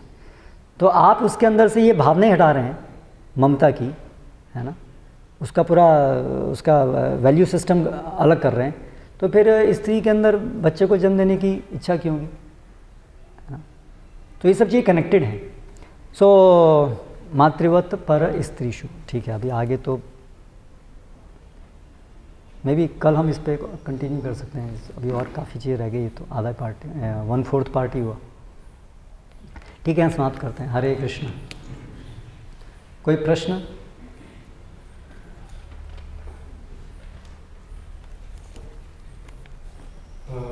आपने जो वैश्य शूद्र के बारे में और स्त्री को एक पाप मुनि तीनों का कैटेगरी में रखकर और प्रवृत्ति ज़्यादा होती है। तो कन्फ्यूज़न तब आता है कि जब जो पैरामीटर्स आपने लिए थे लोअर मोड्स का इन्फ्लुएंस है और भोग की प्रवृत्ति ज़्यादा है उसमें जब एक अ, भक्ति एक और एलिमेंट ऐड होता है खासकर के एक संस्था में जहाँ सब सब भक्त तो एक और डेजिग्नेशन वैश्य शूद्र स्त्री के साथ एक और डेजिग्नेशन हमारा पैरेलली चल रहा है कि हम सब भक्त हैं तो अब इस सिचुएशन में जब आप ये कह रहे हैं कि वैश्य और शूद्र तो जो भक्त वैश्य शूद्र जन्म से है उनको तो आप नहीं कह रहे हैं उसी तरीके से जब आप स्त्री कह रहे हैं तो जो भक्त स्त्री है क्या आप उनको रेफर कर रहे हैं तो प्रश्न है कि जब हम वैश्य शूद्र कह रहे हैं भक्तों में तो हम जन्म से जो वैश्य शूद्र हैं उनकी बात नहीं कर रहे हैं हम गुणों से बात कर रहे हैं। तो फिर स्त्री में हम किसकी बात कर रहे हैं? गुणों से स्त्रियों की या जन्म से स्त्री की? तो ऐसी भी कोई चीज़ है क्या कि गुणों से स्त्रियाँ और जन्म से स्त्रियाँ? तो आ, जो वैश्य शूद्र हैं उसमें भी तो जन्म से बहुत सारे गुण आते ही हैं। जन्म से गुण आते ही हैं हमारे। जन्म से जब हमारा जन्म होता है तो हमारा जन्म कुछ गुणों के साथ होता है। जैसे भगवान अट्ठारहवें अध्याय में बताते हैं, अभिजात। दैवी गुणों से आप अभिजात, आपके जन्म के साथ दैवी गुण आए, आपके जन्म के साथ आसुरी गुण आए। ठीक है? अभी फिर तो इसलिए जन्म से गुण तो होते हैं। अभी आजकल वो जो जन्म से गुण हैं, वो पिता के द्वारा, पिता के उससे कनेक्टेड नहीं रह गए इसलिए किसी का जन्म किस परिवार में हुआ, उससे वो निर्धारण करना मुश्किल हो गया है। जब संस्कार पालन होते हैं वैदिक संस्कृति में तो पिता को देख करके पुत्र क्या होगा, उसका अनुमान लगाना सरल था। ठीक है? तो जन्म से तो गुण है ही सबके। कोई क्लीन स्लेट नहीं है जन्म के टाइम पर। सबके गुण से ही आ रहा है। तो किसी के जन्म से वैश्य के गुण होंगे, किसी के जन्म से शूद्र के गुण होंगे। ठीक है? इसलिए वैदिक संस्कृति में क्या है जिसके जन्म से जो गुण है उसको उसी प्रकार से परिष्कृत करके उसको वो कार्य को भगवान की सेवा में लगाने दीजिए। ठीक है? लेकिन अभी वो पता कैसे चलेगा कि जन्म से इसके कौन से गुण हैं? तो स्त्री और पुरुष में वो आसान है क्योंकि वहाँ पर ग्रॉस डिफरेंसेस हैं। ठीक है? वो केवल सूक्ष्म चीज़ नहीं वहाँ पर ग्रॉस चीज़ें हैं तो लिंग अलग है। ठीक है? इसलिए वहाँ पर हो गया। और अ, अ, इसलिए फिर वो जो प्रशिक्षण है वो उसके हिसाब से होना चाहिए। तो स्त्री एक उनके लिए वो आसान है कि वहाँ पर वो उनके गुण, उनकी साइकोलॉजी सब उसी लिंग के अनुसार चलती है। वो एक अलग एक लिंग है और उसके अनुसार वो साइकोलॉजी चलती है। उसके अंदर अभी अलग अलग डिफरेंसेस होंगे बट ब्रॉडली एक वर्ग की तरह से उनके एक ब्रॉड कैटेगरी के गुण उनके निश्चित हो गए वहाँ पर। इसलिए वहाँ पर वो आवश्यकता नहीं है कि हम उसको केवल उसको हमें जांचना पड़ेगा, क्योंकि वो एक ग्रॉस स्तर पर लिंग से वो चीज़ निर्धारित वहाँ पर हो गई है। मतलब आप वैश्य शूद्र भक्तों को भी बोल रहे हैं और जो कह रहे हैं लेकिन आप उसमें जो डिग्री ऑफ़ एम्फोसिस है मतलब क्रॉस स्टेटमेंट जो भी उस संदर्भ में कहे हैं उसका डिग्री वैश्य शूद्र भक्तों के संदर्भ में थोड़ा कम रहे लेकिन अ, स्त्री पुरुष के संदर्भ में ज़्यादा है ज़्यादा कम? किस चीज़ का ज़्यादा कम? ग्रॉस और सटल का। मतलब सटिलिटी उनको उनको जो पहचानना है वहाँ पर वो केवल उनके गुण और कर्म से पहचानना है। स्त्री और पुरुष का भेद जो है लिंग से ही भेद है। भेद करने के जो पैरामीटर्स हैं उसमें अंतर है ना? स्त्री और पुरुष में लिंग भेद भी है।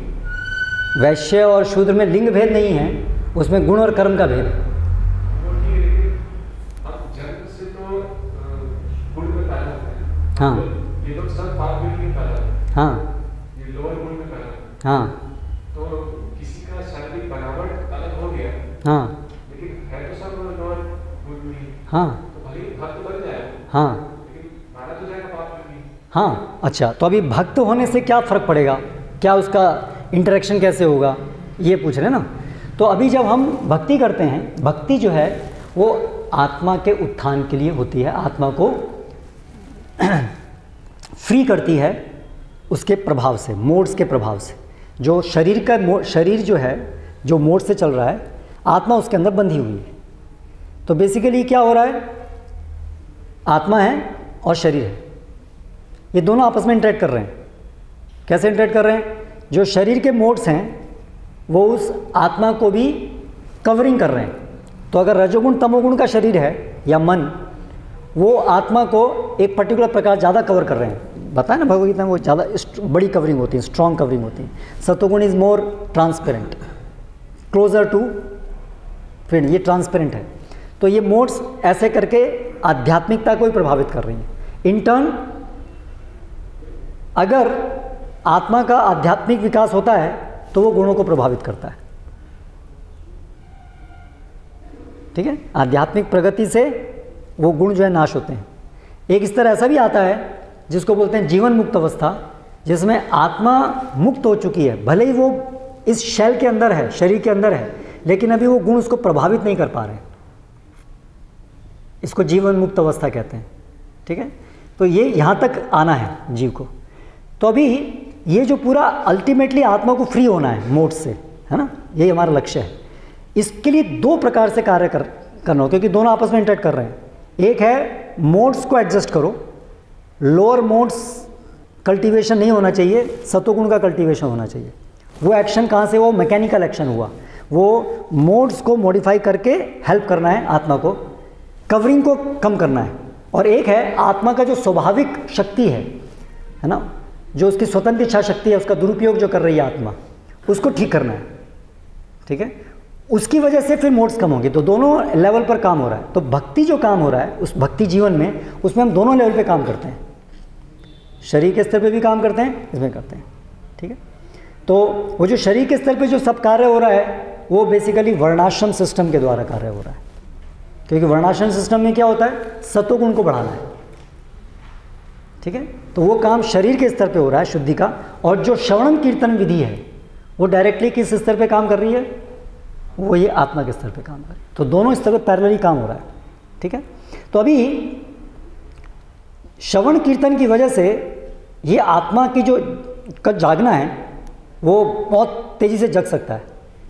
लेकिन ये जो शरीर का जो बंधन है मोड्स जो प्रारब्ध से मिली हैं मोड्स जो शरीर मिला है तो जब तक ये शरीर जो मिला है, उसके उसको चेंज करना इतना आसान नहीं होता है। वो जो मिल गया, जो प्रारब्ध कर्मफल है।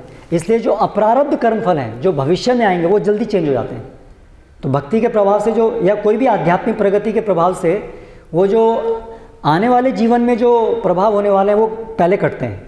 प्रारब्ध कर्मफल काटना जो इसी जीवन में फिक्स्ड है, इसी जीवन में है, वो सबसे डिफ़िकल्ट होता है। भक्ति से वो भी कट जाते हैं, है ना? तो धीरे धीरे कटेंगे वो जैसे जैसे हम भक्ति में प्रगति करेंगे, है ना? और भक्ति में पूरी प्रगति करने पर भी आ, वो परोक्ष रूप से परोक्ष रूप से भगवान के आयोजन से वो शरीर जब तक है तब तक गुण शरीर तो गुणों से बना है। इससे गुण तो रहेंगे ही। आत्मा पूरी तरह से फ्री हो गई है इसलिए उसको जीवन मुक्त कहते हैं। भक्ति के एडवांस स्टेज में वो आत्मा पूरी तरह से गुणों के प्रभाव से मुक्त हो गई बट फिर भी वो इसी शरीर के अंदर है। करेक्ट तो इसी प्रकार जब प्रगति हम करते हैं तो उस प्रकार ऐसा संभव है कि आत्मा का विकास हो रहा है उसके अंदर वो स्वाभाविक गुण जो हैं वो सरेंडर की वजह से वो उत्तम स्तर के हो गए। लेकिन शरीर का जो गुण है, वो वैसे के वैसे ही रहे हैं। विशेष रूप से जो शरीर के स्वभाव के गुण हैं, जिसकी वजह से समाज में इस शरीर को क्या करना है? जो वर्ग हैं, स्त्री को क्या काम करना है? वैश्य को क्या काम करना है? ये जो गुण हैं, ये भक्ति के प्रभाव से खत्म नहीं होते हैं, क्योंकि जब तक व्यक्ति संसार में है, उसको संसार में कार्य करना है ना। ठीक है? तो इसीलिए वो जो जीवन पर्यंत अगर किसी का स्वभाव वैश्य का है, वो भक्त बनेगा। लेकिन उसका जो इस जगत में संसार करने की जो क्वालिफिकेशन है, वो उसकी वही रहेगी। Till the end of life in extreme cases भगवान की इच्छा से ऐसा हो सकता है कि भगवान की सेवा के लिए भगवान उसको कोई और शक्ति प्रदान कर दें। विश्वामित्र मुनि अपनी आध्यात्मिक शक्ति के बल पर वो अपने वर्ण को चेंज करके उन्होंने क्षत्रिय बना दिया। सॉरी क्षत्रिय से ब्राह्मण बना दिया। So that is possibility also there लेकिन वो तो बहुत ही रेयर है और वो भगवान की इच्छा से भक्त में अगर भगवान देना चाहे तो कर सकते हैं। भगवान किसी को भी शक्ति प्रदान कर सकते हैं भक्त को, है ना? कार्य करने के लिए। तो वो तो एक अलग चैप्टर है। भगवान की इच्छा से तो कुछ भी हो सकता है। लेकिन जो नॉर्मल है नॉर्मल के अंदर क्या है?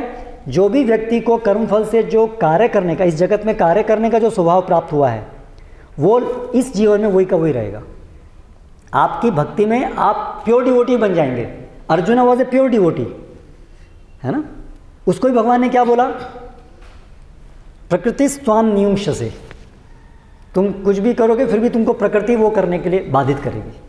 करे तो इसलिए एक भक्त को भी अपने जो प्रारब्ध के अनुसार जो गुण प्राप्त हुए हैं, समाज में कार्य करने के लिए उसको वही स्वभाव के अनुसार जीवन पर्यंत, यानी गृहस्थ आश्रम जब तक है, या जीवन पर्यंत, तब तक वही प्रकार के कार्य करने चाहिए। जो अनर्थ हैं हमारे, वो भी कर्म फल के कारण हैं। वो अनर्थ सब भक्ति से धुल जाते हैं। लेकिन जो स्वभाव है, वो वो भी, स्वभाव भी उसका एक तरीके से शुद्ध हो गया है, लेकिन इस जगत में है तो कुछ कार्य करना है, भगवान की सेवा में उसको करना है। इसलिए वो परोक्ष रूप से वो स्वभाव के संबंधित जो गुण हैं, वो बने रहते हैं। उनसे वो भगवान की सेवा करता है। इसलिए वर्णाश्रम और भक्ति भक्ति में प्रगति होने पर भी वर्णाश्रम की जो स्थिति है, उसकी वही रहती है। भक्ति में प्रगति होने से स्त्री क्या बनती है? स्त्री तो स्त्री रहेगी, उसके, उसका शरीर हम नहीं एक्सपेक्ट करते हैं कि भक्ति में कोई शुद्ध भक्ति बन गई तो उनका शरीर क्या क्या होगा? सो दैट रिमेन और ये जो है अल्टीमेटली आध्यात्मिक जगत में भी तो अलग अलग इस प्रकार की व्यवस्था है। तो वो उनकी चेतना पूरी तरह से परिवर्तित हो गई और वो अभी कार्य भगवान की सेवा में हो रहा है पूरा। स्त्री स्त्री का कार्य भगवान की सेवा में कर रही है, क्षत्रिय क्षत्रिय कार्य पूरी तरह से कृष्ण की सेवा में कर रहा है। पूरी चेतना पूरी शुद्ध है। तो फिर वो बाधक नहीं है। लेकिन इस समाज की संरचना रखने के लिए तो वो अलग अलग वर्ण रहेंगे ही। लेकिन अभी वो प्रभाव नहीं कर रहे हैं आत्मा के काम को। ठीक है, अभी समय हो गया। हाँ ओके।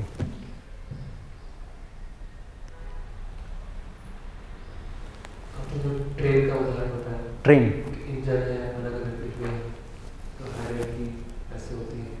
तो अभी समाज में तो अविश्वास का वातावरण तो हम देखते हैं कि स्त्री है वो समर्पित होना चाहती है लेकिन पुरुष में ऐसे गुण नहीं जो उनको भगवान से कनेक्ट कर सकते या स्त्री या पुरुष है कि नहीं गुरु से कनेक्ट होना चाहते हैं लेकिन गुरु इतना परफेक्ट नहीं तो हर किसी को लगता है कि हम डायरेक्ट क्यों कनेक्ट ना हो जाए भगवान से?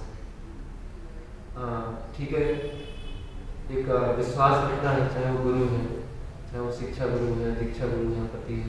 विश्वास भी रखना है, अपनी बुद्धि भी लगाना है और थोड़े स्तर विस्तार, विश्वास रखना है और अधिक से अधिक हम भगवान से डायरेक्ट कनेक्शन बनाने का प्रयास करें। तो ये जो अलग अलग डिब्बे हैं हायरकी है, उसमें वो विश्वास बैठ नहीं पा रहा। कि जिन जिनके हम अंडर में रहेंगे पति के अंडर में रहेंगे गुरु के अंडर में रहेंगे हम पूरी तरह से भगवान से ही कनेक्ट रहेंगे ये हमको विश्वास नहीं होगा। इसीलिए हम स्वतंत्र मानसिकता भी रखते हैं कि हम डायरेक्ट भगवान से कनेक्ट रहें और क्योंकि एक सिस्टम है इसीलिए हम पति के प्रति सेवा भी करते हैं गुरु के प्रति सेवा करते हैं। तो इसका क्या इसका सॉल्यूशन क्या है? या आ, क्योंकि अविश्वास का वातावरण रहेगा तो हमें अविश्वास रहेगा। तो प्रगति करना मुश्किल होगा। हम्म। लेकिन विश्वास कर रहे हैं तो धोखा खा रहे हैं। हम्म। तो इसको कैसे तो इसलिए हमेशा से ये एक रियलिटी है अ, संसार की कि चैत्य गुरु के रूप में भगवान हैं हृदय में। इसलिए हमारे भगवान जो है हमारी मदद करते हैं चैत्य गुरु के रूप में और शिक्षा गुरु या दीक्षा गुरु के रूप में। तो उसी प्रकार से पति गुरु है। लेकिन चैत्य गुरु तो हैं सबके। तो इसलिए उनका रोल तो हमेशा से ही है।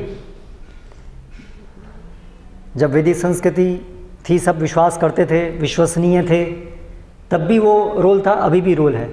लेकिन अभी क्योंकि चरमरा गई है पूरी स्थिति अविश्वास का माहौल है और लोग भी अविश्वसनीय भी हैं दोनों चीज़ें हैं है ना?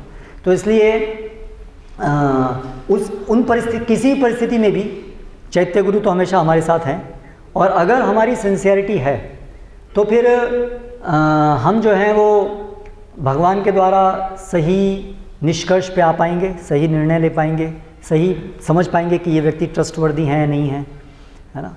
और जहाँ पर अंततः अगर हम ऐसी कोई परिस्थिति में अपने को पा रहे हैं मान लीजिए कि स्त्री है उसका जो पति है वो भक्त नहीं है है ना? तो अभी क्या करेंगे? तो उसका अर्थ ये नहीं है कि अभी ठीक है अभी ये हमें पता चला अभी हम डिवोशन में आए अभी हमारा पति भक्त नहीं तो ठीक है उसको छोड़ देते हैं अभी जो भक्त है उसको पति बनाएँगे। करेक्ट सो so, परिस्थितियों समाज में हम रह रहे हैं तो समाज में बहुत ही जगह में जैसे हमारा शरीर है हमारा लीवर खराब है तो है क्या करेंगे उसको? आजकल के समाज में बोलेंगे नहीं लीवर ट्रांसप्लांट करा दो आप। ठीक है लेकिन वो एक और जटिलता को जन्म देना है।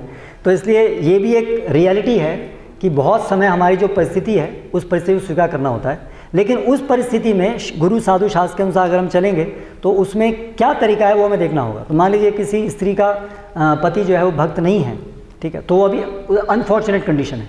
अब वो अनफॉर्चुनेट कंडीशन की जिम्मेदार कहीं वो भी है, जो भी परिस्थितियाँ हमें प्राप्त हो रही हैं, वो भी तो हमारे कुछ कर्मफल के कारण ही प्राप्त हो रही हैं, ठीक है, वो भी है। लेकिन कोई भी परिस्थिति में उपाय भी है, कितनी भी विषम परिस्थिति में उपाय भी है तो इसलिए अभी भगवान की शरणागति लेनी है। अभी गुरु जो है वो पति जो है वो भक्त नहीं है ठीक है? तो लेकिन उनको संरक्षण भी एक सामाजिक स्तर पर एक संरक्षण की आवश्यकता है है ना? तो वो आ, उस स्तर पर पति की सेवा करें और सामाजिक स्तर पे कार्य करें और फिर वहाँ पर पति से जो आध्यात्मिक शिक्षा जो मिलनी है वो नहीं मिल पाएगी क्योंकि आध्यात्मिक वो खुद ही अभक्त हैं। तो उनका सामाजिक स्तर पर सम्मान सेवा हो उससे उनको संरक्षण और जो एक भौतिक दृष्टि से जो सतुगुण प्राप्त होना है वो उनसे प्राप्त होगा। क्योंकि वो जो उनका कर्तव्य वो कर रही हैं। उससे वो सतोगुण जो मिलना है वो चीज़ उनको प्राप्त होगी पुण्य प्राप्त होगा है ना? और जो श्रवणम कीर्तन की जो वस्तु है उसके लिए उन्हें शरण लेनी पड़ेगी डायरेक्टली उन्हें गुरु की शरण लेनी पड़ेगी उनके पति के माध्यम से वो नहीं मिलेगी। आ, तो इस प्रकार से उन्हें चैत्य गुरु की शरण लेनी पड़ेगी और उसके माध्यम से वो प्रगति कर सकते हैं।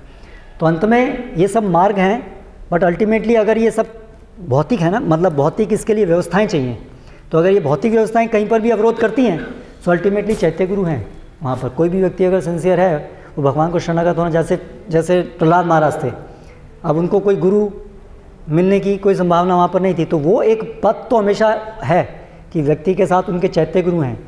तो अगर कोई भी ऐसी परिस्थिति वहाँ पर वो हैं तो वो अगर व्यक्ति सिंसियर होगा तो उसको प्रॉपरली समझ पाएगा। लेकिन अगर सिंसियरिटी नहीं है तो हो सकता है हम उसका बहाना बना के कुछ और कर रहे हो। तो वो फिर अल्टीमेटली डिपेंड करता है सिंसियरिटी पर। लेकिन रास्ता है, कोई भी भौतिक परिस्थिति रोक नहीं सकती आदमी को भगवान की तरफ़ जाने के लिए। हमारे कर्मफल से जो भी परिस्थिति हमको प्राप्त हुई है। लेकिन फिर वो हमें डिस्क्रिमिनेट करके, ये डिस्क्रिमिनेशन पावर हमेशा हमारे साथ है। गुरु साधु शास्त्र के अनुसार अगर हम अलाइन होंगे तो डिस्क्रिमिनेशन को यूज़ कर पाएँगे कि इस परिस्थिति में मुझे क्या करना चाहिए। तो हमें किस किस स्तर तक हमें मतलब सामने को चेक करना चाहिए या फिर मतलब कब वो जब पूरी तरह से शरणागति ले लेते चाहे वो पति पत्नी पति के प्रति हो या पति है या कोई व्यक्ति गुरु के प्रति। हम्म, क्योंकि संसार में साथ साथ चल ही रहा है विश्वास चल रहा है। हम्म, तो वो स्टेज कब आएगी कि ये है परफेक्ट जिनकी सेवा करने से जिनकी शरण लेने से मुझे बहुत कुछ सोचने की ज़रूरत नहीं है। मैं आगे बढ़ जाऊँ मैं आगे बढ़ जाऊँ मतलब पत्नी के केस में जो पति की शरण लेनी है एक एंगल से सामाजिक वो सब एंगल वो तो रह गई। वो तो चेक करने की बात नहीं है वो तो ग्रॉस है वो तो फिक्स है वो तो करना ही है। हम केवल आध्यात्मिकता की बात कर रहे हैं ना अभी? आध्यात्मिक पहलू की बात कर रहे हैं ना केवल? तो आध्यात्मिक पहलू के लिए तो आ, गुरु जिनके हम शरण ले सकते हैं उनके लक्षण क्या होने चाहिए? ठीक है? वही चीज़ हमें पालन करनी है जो तस्मात् गुरुम प्रपद्येत जिज्ञासु श्रेय उत्तम। शाब्दे परे च निष्णातम ब्रह्मणि उपसमाश्रम। तो वही लक्षण हमें देखने चाहिए। उसी के आधार पर हम पूरे शरणागत हो सकते हैं।